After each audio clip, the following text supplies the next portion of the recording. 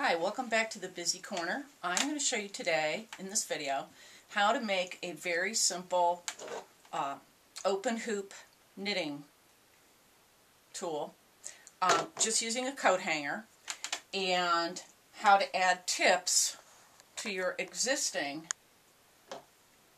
open hoop knitter if you already have one because I'm going to show you a way of doing knitting on this using a crochet hook rather than your fingers.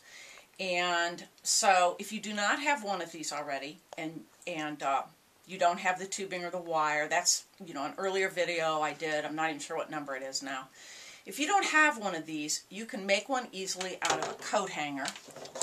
And I mean a plastic coat hanger, not the simple clothes hanger. The clothes hangers are thinner. This will this is about the size between an 11 and 13 US knitting needle. And the coat hanger type is equivalent, it's two millimeters more than a US 15 needle. And so what I did to experiment with these is I cut it right before the loop and on the opposite side. So each, each side was 8 inches long. And you can cut it with a hacksaw or a plastic tubing cutter or even a cutoff wheel as long as it's deep enough on your Dremel tool. If you don't have one of these, I love these things. I have two of them. And when you get it cut, it might be a little rough. And in fact, this tubing is actually hollow that they make these coat hangers out of. And you can maybe see in the end of this that the side farthest away from the hook is you know, hollow and up towards the hook. I think they get a squeeze a little more plastic in there. It may not be perfectly smooth. Smooth. Uh, sometimes it's ridged to the surface of the hanger. It doesn't matter if it's bumpy. It matters if it's rough. So you want to make sure that if there's any burrs in the plastic, you just take it out with, get one of these sanding sponges. These are available in the paint department at the hardware store. And just make sure it's smooth. Now, if you want to, at the ends, I angled the tips a little bit. Now, they don't match because this end is the one that's hollow. But you can use your sanding drum if you want to, if you want to go faster on your Dremel tool, and just shape that a little bit. Now it's going to be rough, and you want to make sure you get all the burrs off with, like I say, a sanding sponge or some sandpaper.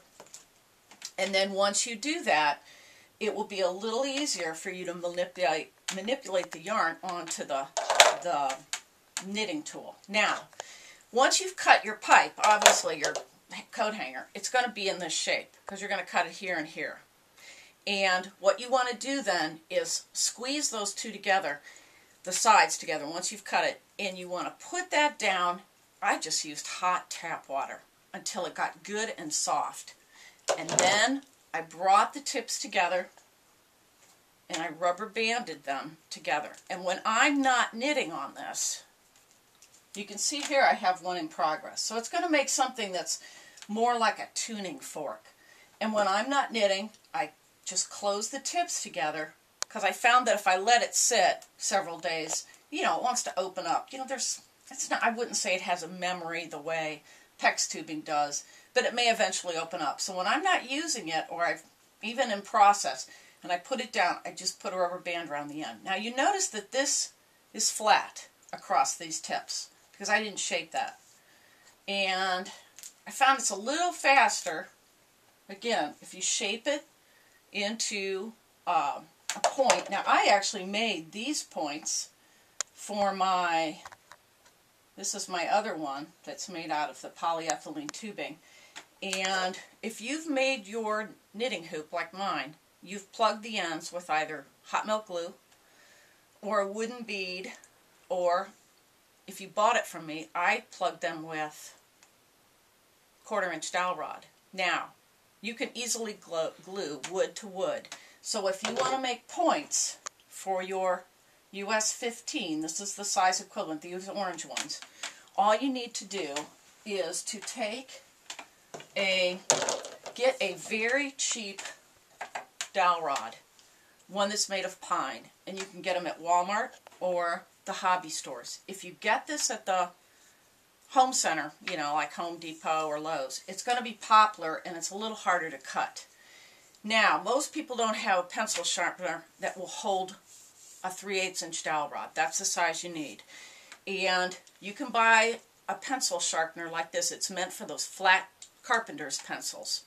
But your dowel rod will fit in that opening.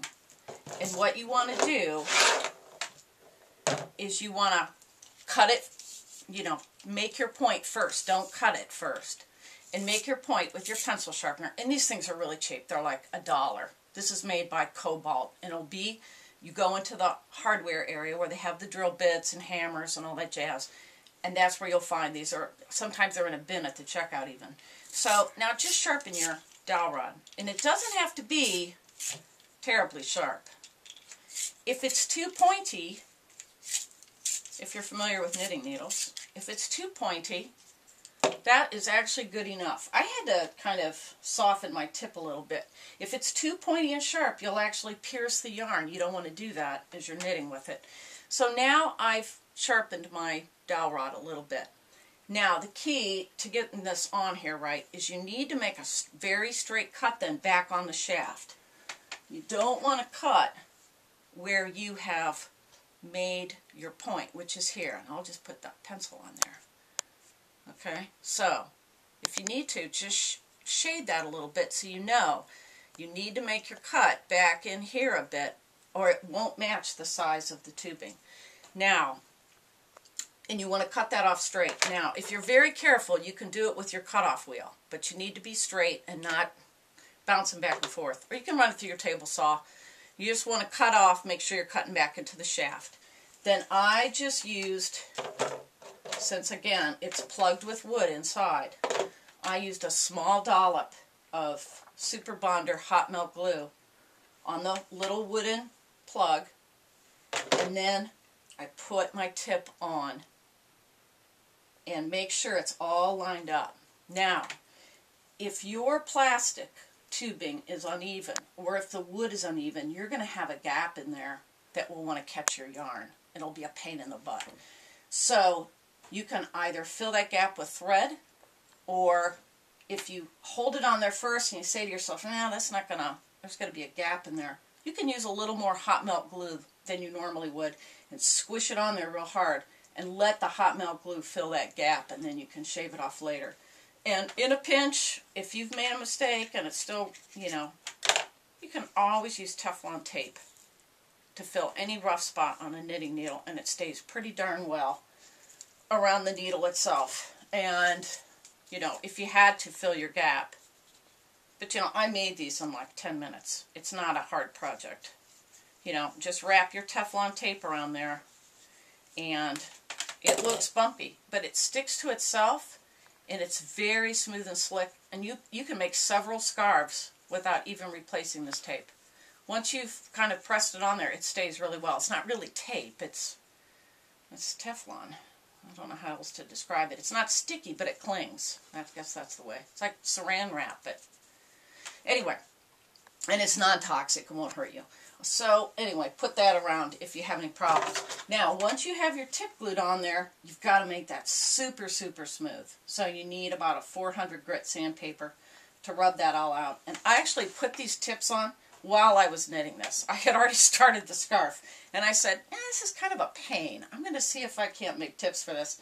So, you know, I had to be careful not to get sawdust in my scarf. But the point is, it's easy to do. So, that is how you do that. Now the reason is because when you make your stitches, you're going to be bringing the new stitches over with your crochet hook. And it's a little easier to put it on a curved surface. If you don't want to do that, you can even look in the hardware. Well, it's over where the screws and bolts and things.